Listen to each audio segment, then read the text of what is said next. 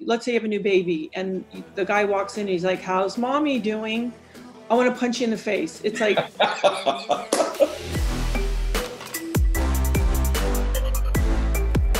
it's not talked about enough. You got to have sex life as a married couple.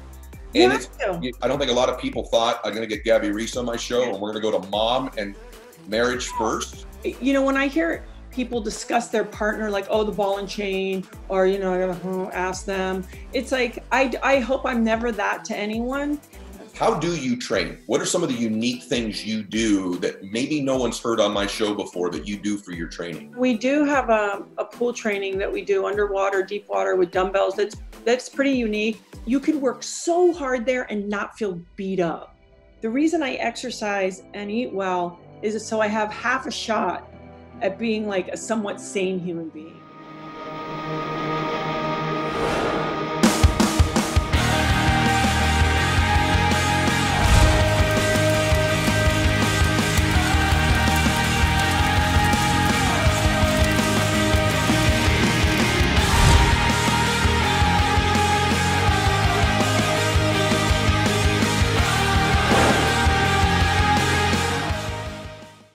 Welcome back to Max Out, everybody. I have a really unique woman on today's show, and you guys are going to love this. Most of you know who she is, but uh, hopefully, we're going to get some aspects of her life and personality that maybe you're not as familiar with. But she's an author, athlete. She's got she's a host of the Gabby Reece Show, which kind of gives you an idea of what her name is. She's a mother. She's a wife. She's an entrepreneur, athlete. First ever, I think, female spokesperson for Nike. I think that's right. You're, you're going deep now. A whole bunch of other firsts. So, Gabby Reece, thank you for joining us on Max Out today. Thank you for having me. I That's love awesome. the name Max Out. It is. It's a great name. I actually I did it because I my son's name is Max, mm-hmm. and then I wanted to have people on who have like maxed out some area of their life. So as you know, I've had people from all different walks of life on here. You're unique, and the reasons I think today people are going to be so fascinated is because you've really done that. Even though you've got a ton of humility and you're funny and you got a I love your kind of dry, self-deprecating sense of humor that everybody tells me about. But you've done that in multiple areas of your life, and so there's got to be some secret to some of your success. So let's talk about it. You ready? I'm ready. You already look reluctant, like you don't even like confident. No, I, I, I think it makes me reflective, you know, because it's like you know when you want to answer questions based on where you are today, not the one that you you know you've spewed out a hundred times. Yeah. When I hear that, I'm like, oh, I want, I wonder what that is, you know. Mm. So talk about that just really quickly because I want to spend most of the time in the current you. Okay. But I was reading about how you grew up. It's yeah. not normal, right? I don't know what, you know, like I always say, I always wanted really like, no joke, like leave it to beaver normal because I, I grew up in sort of a, what would be perceived as not normal. Now that I've lived enough time, a long enough time, then you go, okay, what is normal? Because I, maybe you can relate to this. You know, both my husband and I, I think we both grew up different and very similar. I grew up in the Caribbean mostly. Um, not a ton of structure. From two to seven, I didn't live with either one of my parents. I lived with neighborhood friends, childhood friends of my mother that were kind enough to take me in. My father died when I was five during that time, and um, and then you think going like, oh, I'm going to create normal. Yeah. Right. I'm going to have like a really stable environment. My kids have grown up in the same two houses. Yeah. Like and then you realize like then you're you have all other challenges or other things that you thought oh you would avoid by having these other standards. So it's been an interesting um, journey into what you know my desire for balance or no- normalcy. Yeah i wondered that because by the way gabby's husband's laird hamilton everybody if you don't know uh, probably the greatest big wave surfer of all time, also an entrepreneur, also a really good looking dude, like scary good looking couple when you look at these two. I mean, like, not fair. no, like, not, no, just not fair. Like, how do you compete with that, both of you guys? But setting that aside, I was, you brought it up where I wanted to ask you first, because when I, I, we have some mutual friends. And so obviously I knew you from your athletic career, your modeling career. I knew, you know, I knew the public you the thing that surprised me about you, surprised in a pleasant way, was the sense of normalcy that you seem to have in your life and how dedicated, frankly, of a mother you are first and wife, but seems so dedicated in that part of your life. Do you think that's because there was a lack of stability and structure when you were, were when you were young? Yeah, I think it's. I think I think that's definitely part of it. I think you're overcompensating for I, my lack of, and I didn't. I really was like, I really don't want to blow it as a mother. And there's a lot. There's sort of like a great amount of insecurity around like trying to do it the right way. Mm. Because I always say, if you had a mom or or parents that taught showed you love and discipline, you would then know that you know how to administer that yeah. comfortably. And I think for me, believe it or not, because in some ways I think I am, uh, I can be kind of a hard ass.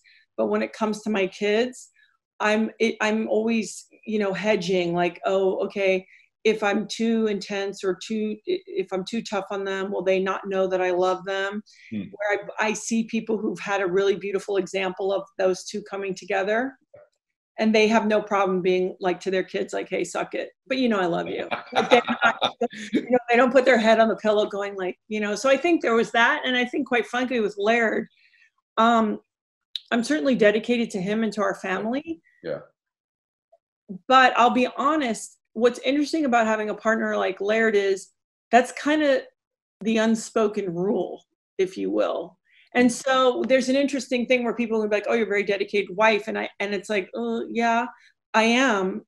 But also, I'll be forthcoming and say I have a partner that shows up in a real way, mm. and so the silence, um, you know, invitation slash expectation would be in your way, your language.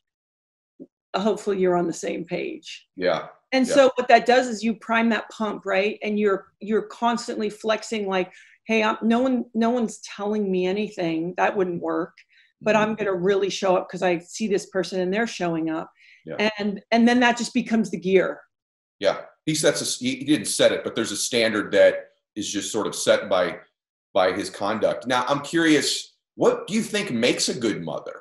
Because i said you're a good mother. Mm-hmm. what do you think makes one?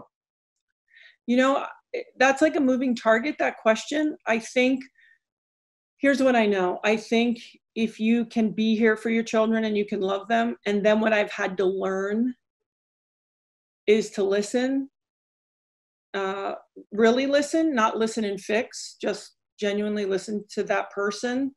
Um, and also, um, like, realize that these people are here on this planet separate from you with their own journey and that might make me wildly uncomfortable as a mother because part of it's like i wouldn't choose that for you whether it's that personality trait that you're either permanently in or temporarily in or that conduct or like the there's certain moves you know we have three daughters one's an adult one is 16 and one's 12 so you know we've had some some opportunities to get into deep parenting.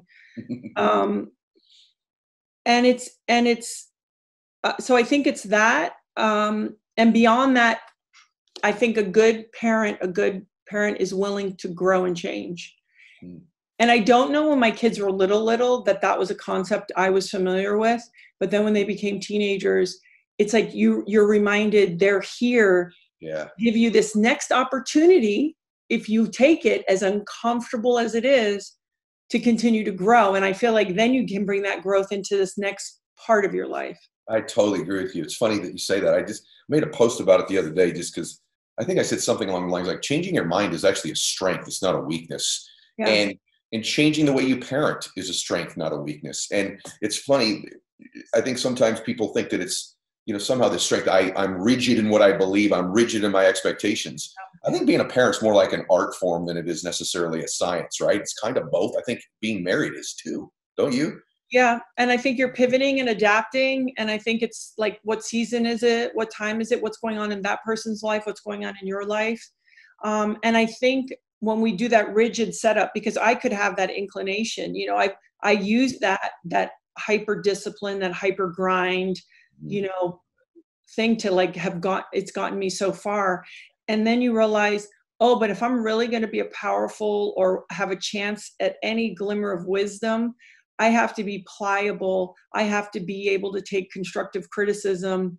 Um, and I also have to let everybody kind of really be who they are. And, yeah. uh, and that is, that has been very difficult and then it's all there's something really liberating because we can't control it anyway hmm and so i feel like once we stop then somehow there's a freedom Yes. the acceptance of like wow even this sucks a little or i'm uncomfortable why is she doing that and it's okay Okay, I gotta, I gotta. I'm so glad you just said that. Okay, I'm gonna tell you something. Rarely, when I'm like researching to do the show, and by the way, I don't, I do all the research myself. I, I, I was researching things about you and things you said, and you know, I, it's public information that you and Laird at one time almost were divorced, Yep. right? And and I was watching a recent interview with you, and you had said to her, uh, it was Danica Patrick. You had said to her, "I don't know." I, you said, "I, I don't. I think we will, but I don't know if Laird and I will be married in ten years." And and let me tell you what was interesting. When I first heard that, I went, "Oh wow, that's terrible." And then I'll be honest with you, I thought about it, and I thought, "What a what a really insightful thing to say." Because I think when you're not when you're looking to keep everything in order the way it's always going to be, to some extent, you lose your presence in the moment, and it gives you much less flexibility in your life to really grow and change yourself. In other words, if you everything's predictable or the nature of your relationship, the nature of your life, and as humans, we all want to kind of gravitate towards certainty. It's always going to be this way. It's always going to be like that. I know you want to be. I know you probably will be. But I want you to know it was one of those really rare moments. I thought about it last night. I woke up last night knowing we were going to do this today, and I reflected on it again, and I thought, wow, there's some I don't know if it's bizarre, it's some beautiful power in that way of thinking almost. Do you know what I mean? Like it's, uh, I, I- I guess for me, it was, it allows you to be more present when you're not trying to take control of the future all the time. Does that make sense?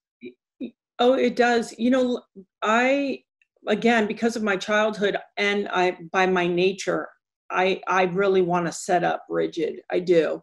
Mm, And what's interesting is I chose a partner who um, is really quite different, like so disciplined. But I'm talking about like this is a person who follows weather, so they actually want to have the feeling of the flexibility of when. And now we've got apps that tell us weather, so we have senses of things coming a week in advance. But let's say when Laird was younger, it was like, what will the day bring me? Will I be able to adjust and adapt to that so I can maximize that day, right? Mm-hmm. And so I've chosen a partner who needs that sense of free, feeling of like, I I am free, even though listen, I have Laird's schedule. His book is right in front of me, and mm-hmm. at times I'm like, tomorrow you have this and that, and but it's it's wanting that sense of freedom. And this is what I say about the marriage: I'm going to wake up every day, and I will do my best and work for it that day. And beyond that, I can't. I don't know what else to do you know it's kind of like I, I have friends who i saw them maybe the marriages didn't work out and then it was like the train left the station and then they're like wait a second let's talk about it and what i do realize is the time to get on the train is like when you're in it you know what and and it's the same with training just because i literally trained for 30 years literally 33 years of my life Mm. i still have to get up tomorrow and try to make better good nutrition nutritional choices and train because it it's sort of an ongoing I think you're right. I, I think you're 100% right. It was one of those statements, like at first I heard it, I went, yeah, I don't like it. I don't know, that's, that's a weakness. And then I thought about it. Why is that the one area of everybody's life that they somehow have to predict the entire future for? I kind of think it's beautiful to want to know where it goes, assuming you're going to be together. But it allows you to work on the train when you're there. Like, uh, uh, just so you know, helped me. And I think as we're hearing this, I know right now people driving or watching this, they're debating this in their mind. Is that a healthy thing? Is that not a healthy thing? Which is what I want the show to do, be thought provoking. So, and it's I- not lack of dedication like i am focused but i also we don't know what life brings us and and also i don't want to have something happen in my life that takes me out out because i was so stuck to an idea mm. like i don't know no, no, no. I, I, this is going deep. I like it, and I agree with you. So, I'm gonna talk about you and Laird for a minute. okay There's a lot. I want to go to business too, but okay I watched an interview with him, and he kept calling you his girlfriend. Mm, And I love this mm-hmm. because I think you should always be courting who you're with. I, I think that's what he meant by part of it. I think there should always be. I have this. I get interviewed a lot. And people ask me, you know, what makes a relationship work? I said, well, everyone tells you trust and communication and all that. But if you don't have chemistry, if you don't have something physical as well that matters, right? Where maybe at some point in a relationship, it's not going to be every day sex every single day, but it's intimacy, it's touching, it's hugging, it's holding hands, it's something where you treat one another like a boyfriend and girlfriend. And then I watched an interview with you, and you almost like made a face if he called you his wife and not his girlfriend. What's that all about? I told Laird a long time ago. I said, "Listen, I'll do everything a wife. I cook Laird dinner. He likes to be. He likes his. He likes dinner. Like he wants me to cook him dinner. I I like cooking. It, it's easy. It's his one of his languages, whatever. Mm-hmm. And I'm like, I'll, I'll, organize your business life. You know, um, just don't treat me like a wife. And because, you know, when I hear people discuss their partner like oh the ball and chain or you know ask them it's like i i hope i'm never that to anyone mm-hmm. and um the other thing i tell men is if they if they just have a child with their partner that um the worst thing you could do in that moment like let's say you have a new baby and the guy walks in and he's like how's mommy doing? I want to punch you in the face. It's like i you know like you're there you're nursing your stomach's you know soft because you just had a baby and you still are an indi- first of all an individual person and then also ultimately i would like so much to be your partner to be someone that you're excited about. Um, it, and like you said it doesn't mean like sexy time every day. I've been with her t- almost 25 years. It's like but it's it's like you still can see me. Yes. That's you know? Guys this is one of the most huge things ever on the show. Here's what happens. We get into these relationships, we're in love. Let's just be honest. The baby arrives, and the man starts to, or and maybe the woman participates in this too, starts to not identify as an individual woman anymore, but as this mommy figure only. And this guy objectifies you that way unintentionally. And over time, he falls out of love because it's mommy and not his girlfriend, not this woman he's attracted to that wants to learn more about, that wants to grow that wants to be in an individual relationship with too right there's there's the family relationship and then there's your relationship yeah. so and, and it's also the woman on the woman the onus is like hey listen and this is people don't like to hear this when you're tired and you're busy and no offense to men but if you're a working female you are busier than your partner period because you're worrying about details about your home that your husband doesn't it doesn't occur to him he's not doing it on purpose.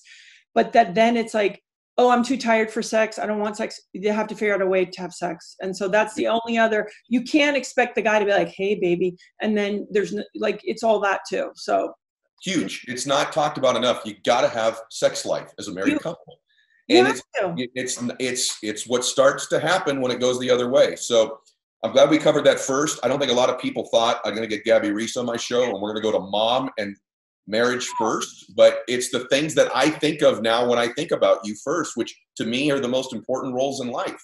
Yeah. And these other things, the fact that you are an amazing athlete, all these other things we're going to talk about now a little bit too. So, one thing you and Laird have that is unique is you also kind of work together. Yeah. Right. And you're an entrepreneur at a really interesting time to be an entrepreneur. So, in these businesses, what role do you play? Like, what are you great at as an entrepreneur? What strengths? you know, I what I what I have done typically is Laird is the creative uh, person. He's the creative motor, and he's also the motor that uh, is always, you know, in different ways working, pulling us along. And I'm I am a facilitator uh, of a lot of that creativity into an organized template. Mm. And um, I think also I have a more of an I'm more of a communicator. I mean, Laird is a great communicator, mm. but I I think I have a I've spent a lot of time interviewing people, writing, doing different types of communication. And also, uh, my other job is to kind of connect the dots on the brands, but also make sure that the brands are lined up with like who we really are. Yeah. And not let them run astray or sell things or talk about things that aren't aren't real to who we really are and mm-hmm. so i'm i'm kind of the gatekeeper of that and i and i'm the one who you know keeps us on on task that's your job. So Laird Superfood uh, is a big part of one of your brands, right? Yeah. It's a big one. And then your breathing app, XPT Life, the breathing app has actually sponsored my show before. I use it. Yeah. So it seems to be centered around fitness, wellness, because it's such a centerpiece of your life. Yeah. What's so what's so important about this superfood element, just for example? What, what what's in it? Why does that matter? you know, for your entrepreneurs out there, what I want to say that's so important about having a company like this, which was completely by accident, which are the best ones. It was off of a habit Yeah. that Laird was doing authentically for more than 20 years, looking for performance.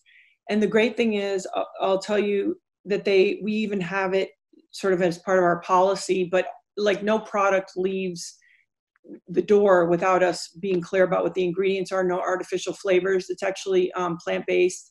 Mhm. Um, and we have our own factory, so we manufacture. We don't co-pack in Oregon, and so, for example, during COVID, they're up 124% because we don't lose, we don't skip a beat because um, our CEO is smart and really risk averse. And so, um, the thing that's important about this product, besides that it's from real habits that we do, like we've got Activate products with like lemon and ginger and minerals and cayenne pepper. So in the morning, get you going, whatever. We have hydrate products that are freeze dried, things like that, based on Laird, you know, really wanting to be hydrated with not all the sugar and all the stuff. Is that um, how do we take something that's real, make it taste good? Because if it tastes like ass, you won't do it every day. Um, how does it support you through your day, be it cost, convenience, and uh, ingredients? But the thing that's important that I realized after being in all these other businesses, IP is really important. A product, something that exists that people can hold and touch and use the way they want to use, separate from you. Um, you start to realize how important that is. And a reoccurring product, again, we didn't, we couldn't have orchestrated it better. But when you start to realize, like, you're touching people every morning, every day. That is, as far as an entrepreneur um, and going through all the iterations that we've gone through, that's been one of the best learning curves. huge the second point particularly about having a recurring revenue stream from the same client it's a huge thing the hardest thing in business is to continue to go get new clients over and over and over again and find the same product to a new person rather than potentially even the same person with a new product if you can also diversify too so that's a huge point by the way little tip guys for me when i'm even especially in the nutritional space and i don't mean to knock anybody who doesn't do this but when I find somebody doesn't co-pack and they've got their own factory where they develop and build, that tells me they're in for the long haul in that business, and that potentially they're a little bit more concerned about what actually goes into the product and the way that it's packaged. So both of those are super huge keys. How do you know? Do you think when to pull the plug on a business? I've never asked that to anybody on the show. I've had to pull plugs on businesses. Um, listen, there's something about having an idea and you think it's good, um, but when every I find that I know when it's not attracting the right people. Like I'll use Laird Superfood as an example. Every person involved on the executive side that has come over, we got a guy from marketing who came from Condé Nast before the business was rolling. It's like it it attracted these high quality people. I've had uh, other pro- pro- projects where after three to five years, it wasn't getting traction. The people involved, and even though you're passionate about it, it doesn't mean everyone is passionate about it. And so I also say to entrepreneurs, you have to have that passion because it's hard to get up each day to do it, but you also have to keep a reasonable perspective about nobody cares. I always think like nobody cares. And if you can start with those two kind of polar points of view, Yes. um, but I think it's also in your gut. Like you just go, hey, this isn't this isn't happening. I just sometimes see people continue to try to shove this idea that was so great to them through the same prism too, without pivoting, without altering the way they market it, they package it. And I just, I, I've never asked anybody the whole show, 300 episodes, whatever it is. I've never asked somebody, when do you know to pull the plug? And I know that you have had businesses that you had to pivot out of, and now you kind of found your groove. You know, now I'm, I, there's like all these things that I really want to ask you, but take you and him for a minute. Mhm. I think people sometimes maybe, let's take you since you are here, they fail to realize sort of the schedule of a top performer. So for me, the most important thing I've already told you is it seems as if you're winning in your marriage most of the time, which is, by the way, I'm, you know, if I'm winning most of the time at anything, I'm happy. But you're winning in that really important place and also turn something around that was going the wrong direction too. Then I look at you as a mother. I'm like, seems like she's winning there. And probably doesn't feel like it every day, but she's kind of winning there. And then there's the fitness side of you, which we'll talk about in a minute, which is critical both my life and your life, and in most elite performers now. Then there's the business part of your life. Then you probably got a social part of your life. So There's all of these moving parts. What does a day look like for you? What's the schedule? Because I think most people might underestimate what it even looks like to be a top performer in multiple areas. What's the schedule look like? Well, Laird gets up first, and and so then we get up and we actually sit and have a coffee together because it will be the only time in the day that it's just the two of us mm. being and having a nice visit then we go off and usually train. I, if i if unless i have like for example i have some commitments coming up that will be 6.30 in the morning until 6 at night and i know that week is a wash and i've already accepted that right? Mm-hmm. but in my day to day then i go straight to train because so if it's get a kid off to school and then train fine. But for me if three o'clock rolls around and i have not trained i will not train and i i don't even lie to myself anymore because i can't i don't have the output that i need for my training, I need that early. Because I don't want to half-ass it and go in there. So I train, get that over with, and then usually it's straight to either meetings or you know dealing with you know emails, and then maybe we have to shoot something, um, and we have family dinner as often as we can. Um, and then la- and the other thing is Laird is like a lunatic about sleep. You know, he's giving everyone dirty looks at like by 8:30, and I'm just like, get a life but what we do, I will say this we open our home to people that are friends. So our training oftentimes our social trip is socialized is wrapped around our training because it's too mm-hmm. hard sometimes to do both. And then occasionally maybe it's go to dinner with a, a, a close friend to really connect. Mm-hmm. But I have found that over the years, probably 20 years, to make part of that's what's so great about a sauna you and I could sit in a sauna and have a 10 minute conversation in 200 degrees and get right to it. Yeah. And now we're connected. We've we've connected, and now boom, we're off on our day, right? How much of it? I'm just curious. How much in a month before COVID? How much social do you and he do? Real life? No, there's a lot of no. Yeah, that's what I was gonna. I, I was sensing that from you. You can't show up every day for everybody and everything, and then also care for yourself and now, granted, there are people who have jobs where they like, okay, Los Angeles. If you talk to any agent or lawyer, they have to go to drinks. It's called right. I would yeah. like, you know, I was like, who goes to drinks? So if you're in a networking thing, I get it. But if you want to network with us, we'll go to lunch with you. You can come to our house. We'll teach you pool training. You can go to the heat and ice. We'll sit down and have a focus meeting. But um, I think it's about saying, you know, it's not as sexy like yep. you're not gonna see a lot of pictures of Laird and I on like red carpets and looking yes. fabulous. Yep. Um, but that's not what we're selling. And also, I think independently, we each know we're really clear about what makes us feel good for real. Yeah. And for us, um, that outside stuff, it's there, it's a lot of work. Um, and it's just not our thing, you know. I love that about you because that's how we are as well. I pass on most of those things. And I just think this is a lesson. I just, it's not ever discussed either. It's like we're covering stuff that's not talked about a lot. I think if you're going to be in a marriage and you want to also have a great family and also some financial success, I always worry when I'm on social media and I see successful entrepreneurs who I know have children. I don't mean any judgment by this because some of it is a necessity. So I'm not being judgy, but when I see them out four or five nights a week over and over and over again, I'm like, someone's suffering over this. And eventually that you might have that financial success, but you're going to look back those babies are only with you till they're basically 18. You can't get the time back. And it's rare, let's just be honest, Gabby, it's rare in my world, but particularly in your world, the athlete sort of celeb world, to make the choice that you have made. And it's something I really admire about you because I don't see a lot of that. I think it's probably one of the reasons why you are winning. I think that's a secret form. It's why I asked you how much you go out. You know what I, what I would say to people is this and I'm sure you've talked about this a lot. What is success to you? And for some people, it's like, oh, I need more zeros or I need more attention.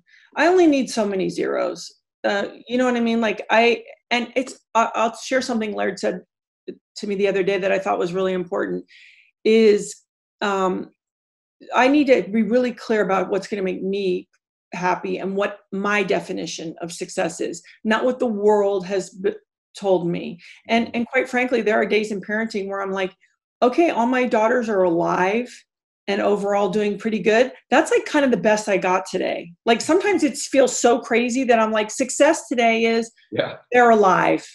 you know, and no one's killing anybody. Great. Sure. Um, and for me, success is self care, having time to commit to being uh, taking care of myself, and I'm willing to work as hard as it takes to create that space to do that. Yeah. Um, but Laird talked to me about money, and he was like, "Listen, the thing about thing for him with money is like, let's say Laird Superfood right now, let's say it's doing very well. He's like, that's just um, a target. Like that's not a oh, it's that money because we also know that sometimes too much I've seen it destroy most people I know. And so, how do you reach for the stars? Say, I want to create as much um, wealth, and what I mean is in the word of wealth, healthiness, relationships, maybe actual wealth, mm-hmm. but not actually have it destroy me because most people don't think about it and they don't realize it could destroy their relationship, their health, or if nobody ever tells them no, then they've lost the plot. And so it's like really drilling down on at the end of this, like you said, how am I going what am I going to think is success and being. Clear? I think the chase of money, and I've done it and I've acquired some, obviously, a little bit. And and I think that sometimes what you do, I did it for a while. I think you think I'm just going to keep chasing this and I'll get to a number Mm. Then I'll then I'm going to get around to my own wellness, my spirituality, my health. Except that number keeps moving. Yeah, because you hang with those guys. You hang out with the guys who have that number, and then all of a sudden you're around the guys with the bigger number, and then they're cutting their boats to get an extra meter or five meters, and it's like, yo. Yeah, that's exactly you know, and right. You go, you're these people are loaded. They can't walk up a flight of stairs, or they. There's like, is anyone having fun? Yeah, yeah, you're right. Fun. Yep. And if you neglect the family front here, and by the way, there's a lot of young people that don't even have children yet, but you know, you and I both have this probably too, but some of my most financially successful friends are some of the most wonderful people. During the years when their children were under their roof, maybe things weren't the way if they could go back and do them, they would in terms of just time. And now that they are wealthy and now that their children are grown, the number one negative thing in their life that occupies all of their emotions is the challenges their adult grown children are still working through right now because of the neglect potentially that took place when they were in your house. So you're actually making an investment when you're with your children in your future happiness yeah. potentially. Don't you think? I mean, you don't think of it that way, but it's true. More than 100% because they actually say, right, our happiness is only, you know, how good your your worst kid is doing right like however that's going mm-hmm. and and the other thing people if you're young and let's say you're even single even when i was single i was still very dedicated to my self-care because then what happens is you send out a frequency that you attract other people who are doing that. They will help you in your success whether it's the partner that ends up with you or the people you hang out with. And so it's not about these lessons are learned because oh i'm married and have kids. I lived a certain way. I attract a certain partner to, separately and together. Okay.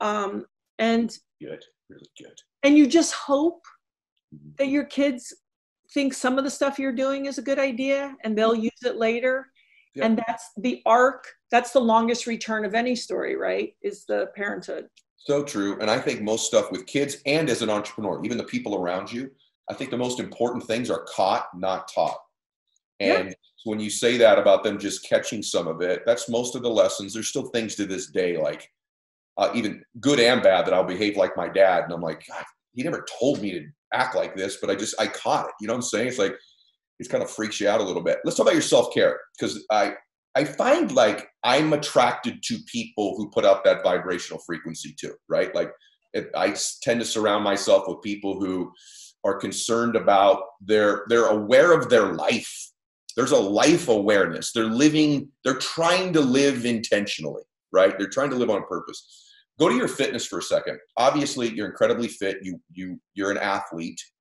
I was going to say were, but you are. How do you train? What are some of the unique things you do that maybe no one's heard on my show before that you do for your training?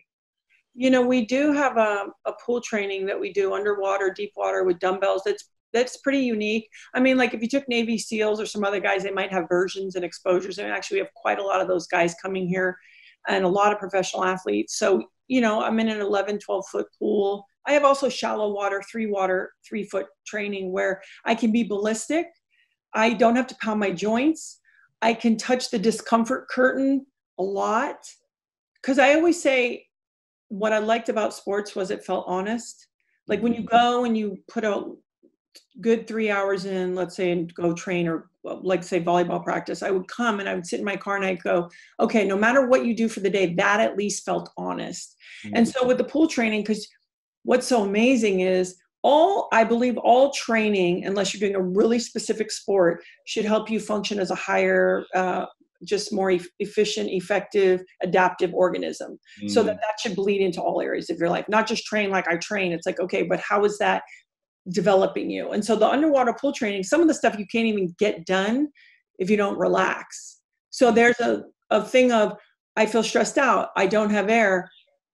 If i freak out i'm definitely not going to make it but if I relax and get a hold of myself, mm. I can usually finish the task because I'm not going to burn the extra air, right? So there are these environments where I can work really, really hard, not crush my body, make gains, but also meet myself emotionally because I'm dealing with a lack of oxygen.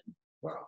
Can we do that? Can we go there for a minute? So underwater, I was hoping you were to go there because I heard you I researched this, but I don't know what it means. Yeah. So underwater weight training. What is that? Walk us through it a little bit. I'll give you an example. So let's say you have one dumbbell, and um, we have a drill called the Reese that was created by my 16 year old when she was five. You can take a dumbbell. Let's say um, Laird, 45 pound dumbbell.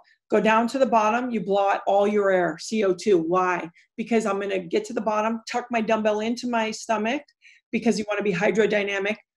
Make a huge ballistic jump to the top with your free arm, you're gonna rip yourself out Make sure all your air is out. Why? So when your head pops out, one breath in, back down. So I could say to you, okay, we're going to do a set of 10.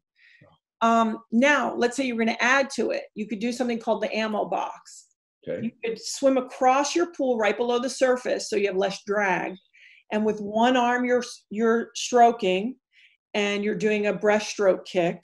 Okay. efficient. You hold your dumbbell close to your body, right? Let's say you get to the other end of the pool, uh, side to side. So 40 feet. You can get there before you touch, maybe drop down and do 10 jumps, mm. right? The, so now you're dealing with levels of um, hypoxic training. So you're dealing with a, a deficiency of air. So your cardio, yeah. You, again, you're not hammering joints. Um, you can create circuits in the pool where I can sit, I can put you on a line and make you swim uh, with an elastic. Then I can put you on an incline. I have an incline and give you I could give you two 50 pound dumbbells and say to you, okay, you're going to walk to the waters just above your head. Now, as hard as you can, you're going to do ballistic squat jumps and you come out quick. It isn't like the deep water one. Yeah. So if I'm an athlete or an aging athlete and somebody who wants to continue to improve and perform, how do I do ballistic training or yeah. mental training? And the water is neutral. She's got nothing against you. So it's a neutral feedback yeah. Hey, you're you're ramped out today. You're stressing out. That's why you can't get there and back without a breath. Wow. So it's this really cool environment, and you do. We have underwater speakers. Um, we have all these athletes there doing all these different things, and it's hard, but it's just you can work so hard there and not feel beat up.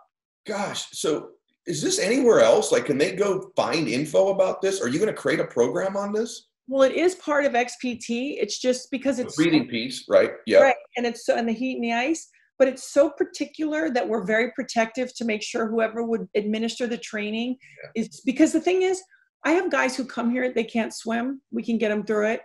I have people here where you have to say, "I'm here to push you, but first and foremost, I'm your ally." And I'm only going to make this a positive experience. And every person who does it. So we've had people come to our house to do it. When people come and do XPT experiences, we do show, we do two days of it. Okay. Um, and slowly, I would like to to get. We just have to do it the right way. I love this. This is a huge business idea. I, I'm telling you, like. I'll do it with, I'll fund it with you. So everybody, one thing you should, uh, the, the main business I wanted to have them talk about today was Laird Superfood, but you guys know XPT sponsored my show before if you're interested in what she should just said, at least go get that app, go do that. And I think all of you, like myself, and I'm going to share something in a minute. I think any type of resistance training you can start to do in water, you should be considering doing, at least as a general recommendation I'm going to make to everybody here. When I first met Stallone many years ago, we were training together. I said, What are, and I'm beat up now. I've been lifting weights now for 30 years. I just came back after COVID. Immediately, I've hurt a tendon in my wrist. It's just, it's just a lot of people say, well, then you're not training correctly. Baloney. I've been lifting correctly for 30 years. It's just stress on my joints. I'm naturally not a very big man. I've got, you know, smaller wrists and joints, and I've gotten pretty big. I love the idea of starting to train in a pool and doing more of that sort of uh, less less strenuous stuff on joints. So please, everybody, get that app. And also, this had nothing to do with selling the app. I didn't even know where we are going to go there. And, and and and train more in water. Go ahead. And I can when you if you when you come back, I'll I can run you through it because there's also quite a lot you can get done in three feet of water.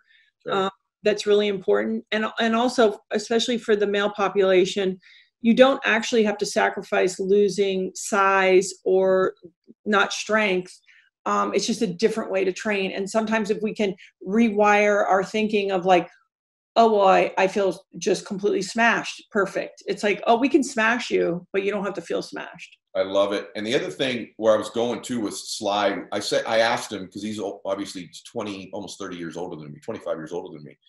I said what is something you regret that you didn't do in your training? And like almost everybody i know who's been fit for a long time he said i should have stretched more. Stretched. Stretched. And here I am now, I'm 49, and I heard him, yet I've gone 97% of the time I've gone to the gym to train. Yeah. I've never stretched before, and I don't stretch after. And I feel like at this point in my life, I'm paying the price. So if you're younger, wouldn't you recommend people stretch more? And if yeah. you're nearer to my age or, you know, 30s or 40s, begin to have a stretching program. True? I think so, and I think um, actually it'd be best to do it at the end of the day. I think it's like an animal; like you don't really want to maybe stretch before you train or play. Yep. Mm-hmm. Um, I think the idea of actually breathing quite a bit and opening up your ribs and giving room for your lungs for an athlete or like a runner, mm-hmm. perfect. But stretch at the end. More and, and more, that's the case, isn't it? They're talking about your body being warm uh, when you begin to stretch. So I, I just yeah. want to make sure that I've, I've said that to everybody. Okay, gosh, we're going all over the place. I love this. I knew we would cover all these different topics. So I want to talk a little bit about other things you do for your wellness. Mm-hmm. So there's the fitness piece. Obviously, that's a centerpiece of your life. Are there other things you do for your self care that people should know about that maybe they don't right now? Is there a gratitude exercise? Do you meditate? Is there anything like that that you do? I um again because like a lot of people, I'm busy and I I'm not by nature like a let it go kind of person, right? Like mm-hmm. I have friends that just can't wait to let it go. I'm the one at yoga at the end, you know, when they're laying there, I'm like, okay, let's wrap it up, you know. Um, but I will say this homeostasis, finding the middle. I am very sensitive to when I'm getting off. So, mm. what I do that helps me and also lets my stress impact me less is I'll give you an example if I really am reacting strongly to something, like an overreaction, let's say, I'm like, oh, you're out of whack. Like mm-hmm. you're off your homeostasis, right? So if I could just encourage people, really just self awareness, it like, why are you flipping out? Does that really? So it means something's off. Was am I tired? Um, am I? If do I have some unfinished business personally? Am I am I scared about something that I'm not dealing with? Right? Because that usually is how I respond. I respond with teeth you know i get like super aggressive and like raw when i have something in my life that's making me scared or unsettled right? Because they you know you attack. So I, I say that i have a good sense of that balance. And even in your if you're driving in your vehicle one thing i do is i find the way to make that a time that i go back down to the baseline.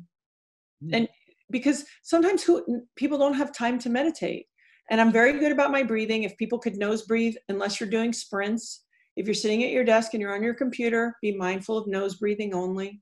Try to deep, I always say to people, try to breathe deep into your belly. Because if we're only breathing into our chest, which most of us are, we're ramping up. We're in our we're in our sympathetic, we're in our fight or flight.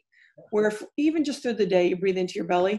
And obviously I'm I'm pretty mindful but not psycho about my food.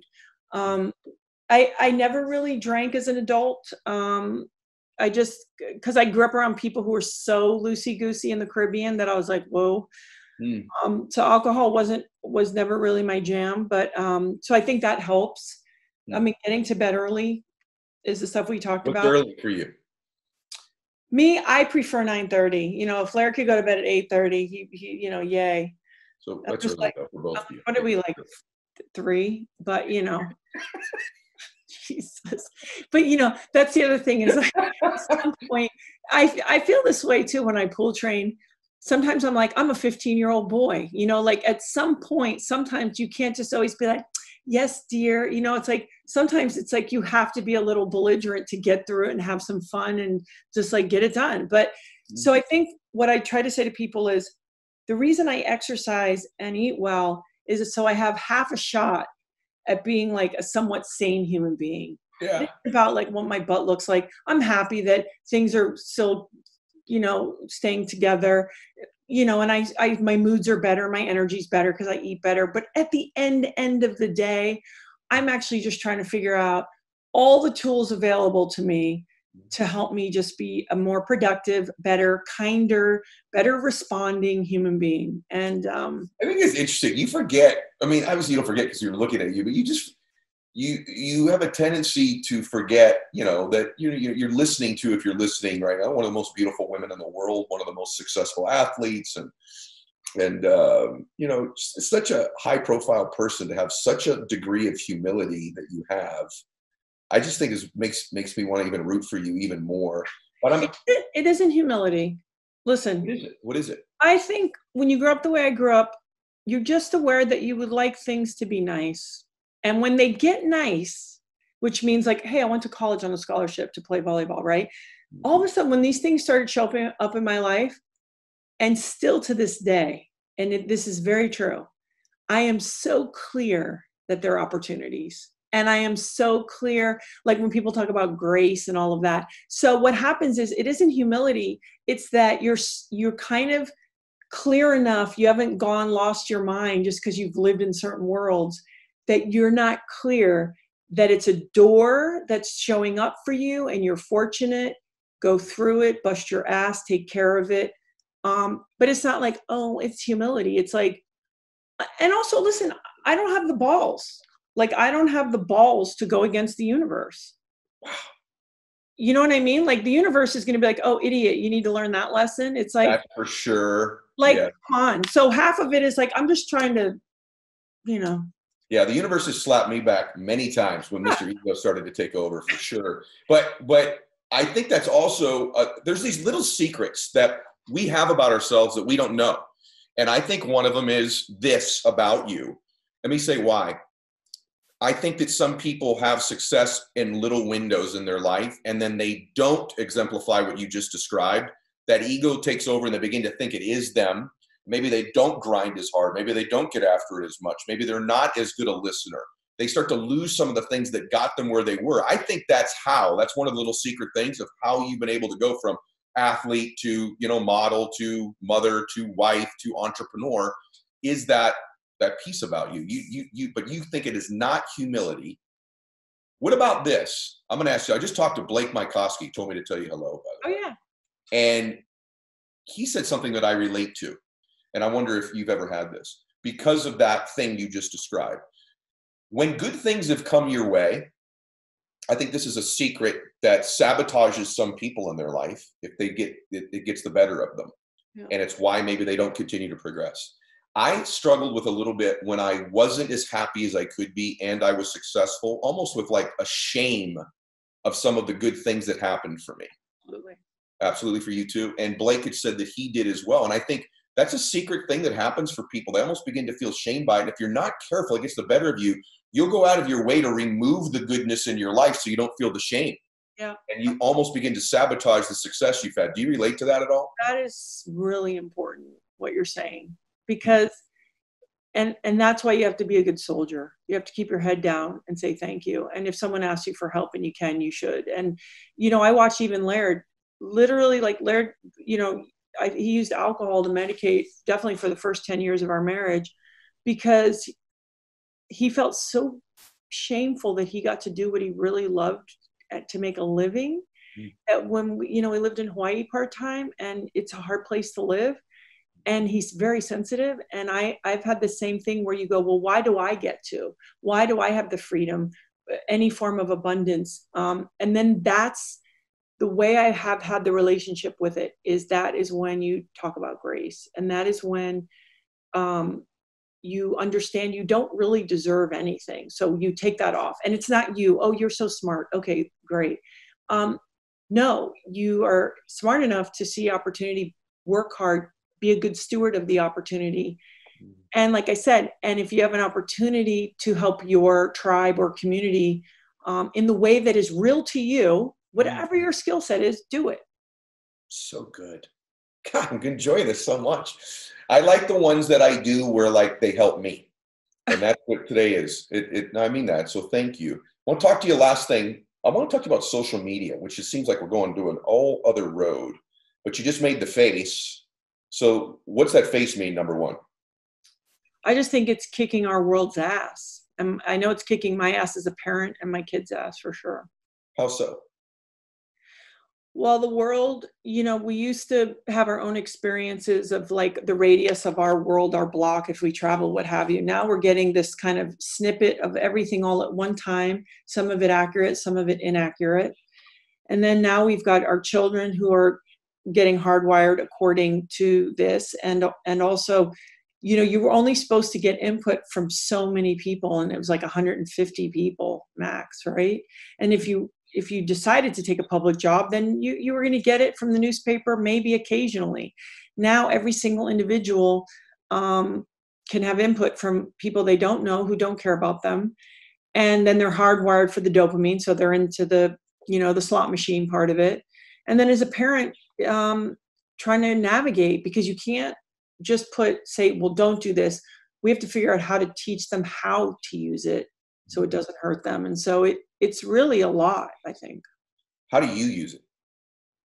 I use it as a tool for my business and I try to if I could be honest, I I try to make it as as close to who we are, like so we're not depicting something so off um, without being gratuitous, because I think that you know you're always walking the line between saying, "Hey, I'm going to open up and I'm going to be really forthcoming," and um, and even be gratuitous. Like my kids, they're bigger now. Some things, it's actually not my story to tell; it's theirs, right? Yeah. So it's like trying to just be mindful of that.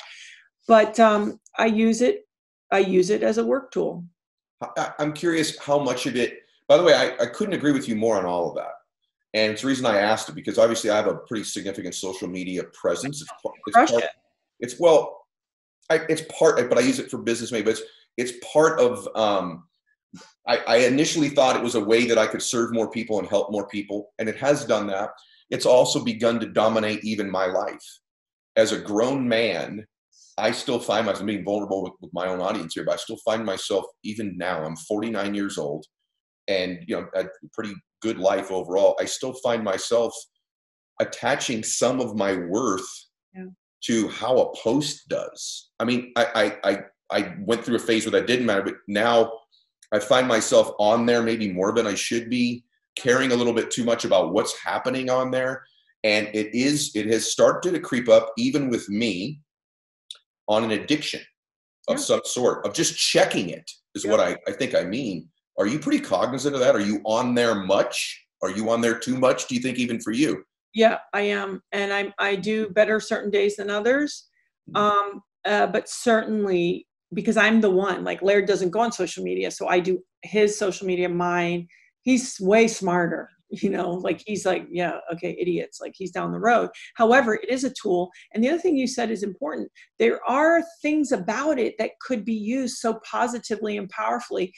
The problem is is most of us aren't using it that way and it could be a resource but not really now it's become something else so i'm conflicted a lot and it's something i'm always checking. So I, I appreciate what you're saying because I think uh, most people are contending exactly with that. It became a part of my life, Gabby, where in the beginning it was really, and by the way, still is. I think overall, probably still it's a net benefit to the world compared to a negative. Yeah. But it's getting really close. And it's funny, there was a couple days last year where Instagram didn't work. they were they were two of the richest days I had had in years. And I, I sometimes have these fantasies that it's just going to become irrelevant and all go away. And I kind of root for it because I think once you're in it and of it, you want to, you want to be relevant. You want to help people still. But it's something that I've not asked anybody on the show. But I had also read somewhere where you said I kind of play it down the middle there a little bit. I, I You're not taking huge risks there, are you? Is that still the case? Yeah, no, because unless you want to have a nuanced conversation with me and really talk about some stuff like real, uh, I'm not going to do that on social media because there's so many intricacies and subtleties about relationships and aging and business and entrepreneurship that I'm not going to. Um, that's not where I'm going to play a lot of that out. You do do it, which leads right to where I wanted to plug something. You do do that on your show, though, right? Yeah. Yeah. So you go a little deeper there. Talk about your show just for a second. Why do you do it? Well, you know, it's funny. I started um, interviewing people in 92 or 90, 1993 for MTV Sports. And what I really liked is like I got to meet all these really kind of high performance people. And I don't mean like famous or I just mean like people like doing something. Yes. And to your point, I was like, oh, I'm learning. And that's why I joke about Joe Rogan. It's like, oh, okay, let me sit in my studio and have the smartest people in the world come to me or the funniest. And Joe's just getting smarter and smarter and smarter and, and getting inspired by these people and having real conversations and putting stuff out there that's pretty cool. And so for me, this is why I do the show. I've always interviewed people my ento- my whole career. Usually it was television, short form. Now the idea of talking to people who are good at what they do. But here's what I know. Part of that you can kind of phone in. Like there's things I could do. Let's say I'm having a bad day. I could still go to a shoot or go to work and show up and no one really know. Now what I want to do is talk to people who are really good at what they do and ask them how they're managing their life because if I feel like if we could have more of that balance and and share those exchanges. It's like being a parent. I've had people tell me things as a parent that helped me so much that i if i hadn't been open about where i was at i couldn't have gotten that help. And so it's just trying to keep that dialogue open saying like hey there's so much greatness in life and we can be great and we're human and it's messy and sometimes we don't know and that's okay too. And just having those conversations.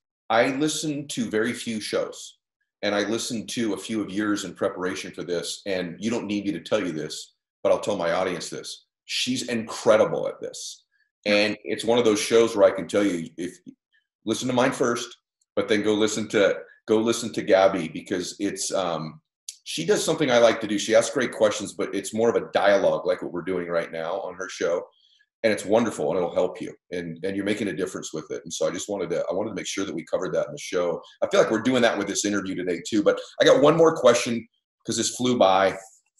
Um thank you in advance by the way and everybody go follow gabby's show. A gabby reece show. Go make sure that you uh, follow her on instagram. Take a look at uh, laird superfood if it's right for you guys. Xpt's been a part of our show already so you guys know about that so thank you number one before i ask you this last question this has been awesome she's smiling everybody that's on audio I, So- I thank you. I think it's it's very sweet. And, you know, they're just communicating. I really appreciate it. Thank you. she's so she's not it's not humility evidently okay so i get to run into you at a starbucks and i'm somebody listening to this show and you know what i'm not as happy as i would like to be and i get five minutes with you or 30 minutes with you this is a really difficult question i usually serve up a easy fat pitch to hit out of the park on the last one but with you i feel like there's so much in there that I want to make sure that we've got as much out as we can. And someone just said, look, you know, I'd like to, I'd like the next many years of my life to be happier. You know, I arrived listening to this today. I'm driving in my car and I've enjoyed this conversation. I've learned some neat tactics and strategies and enjoyed the conversation, but I don't find myself as happy as I'd like to be. Hmm. And I want to be happier.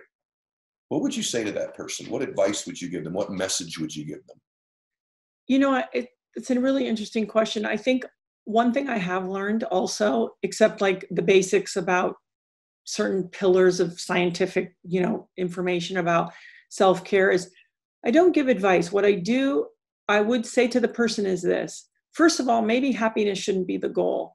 I think a sense of peace or a sense of purpose and fulfillment, that might be not only easier, but also maybe more realistic. I think happiness kind of rolls in and out. One, two, I think it would be asking this person, is your exterior life a reflection of who you feel that you are inside? Are you getting to express this person inside into your outside life, whether it's the relationships you have, the work that you're doing, um, just the ways that you get to express yourself?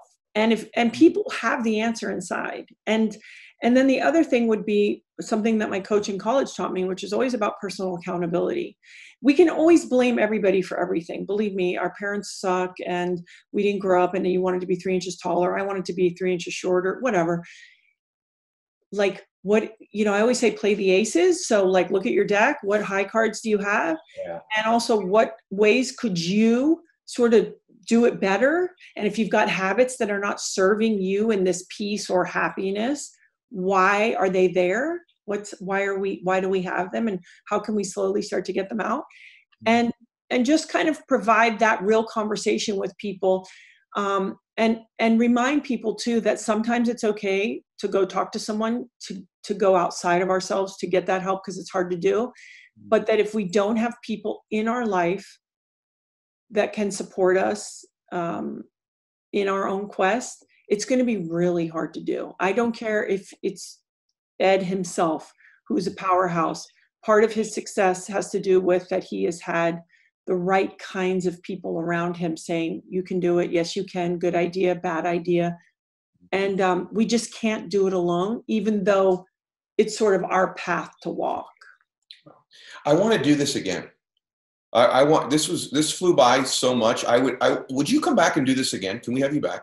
Are you kidding? I love talking to you, and I and I love talking about this stuff because for, I'm muddling through it. Like, yeah, let's not kid ourselves. Like, I'm muddling. Okay. Yeah, I'm muddling too, and I feel like uh, that Joe Rogan that you described earlier, that same version, but today really blessed me, and I, I kind of knew it. What I said a sense, but I I'd like to do this again, and I know my audience going, yes, please have her back. So we're gonna have Gabby back. We're gonna wait a little while. We're gonna okay. give her some breathing room, but we're gonna have you back. Okay and if we want to just talk about crushing it and stuff like that next time we can we don't have to be you know so lifey if you don't want to i kind of like where we were but we can talk a little crushing it we, you're definitely capable of that too gabby thank you it was awesome thank so you so awesome hey everybody make sure every day you follow me on instagram running the two minute drill max out two minute drill so i can engage and collaborate with you that means follow me there when i make a post it's every day five days a week 7.30 pacific 10.30 eastern make a comment in the first two minutes and you're registered to win. If you miss the first two minutes, make a comment on other people's comments. If you miss that, comment on every post I make every day. We pick winners that get coached by me, my guests. Fly on the plane with me once in a while. Get tickets to see me speak. Get my book, gear, all kinds of cool stuff, just so I'm connecting with you. So go ahead over there and do that and share the show with as many people as you can. God bless you. Max out.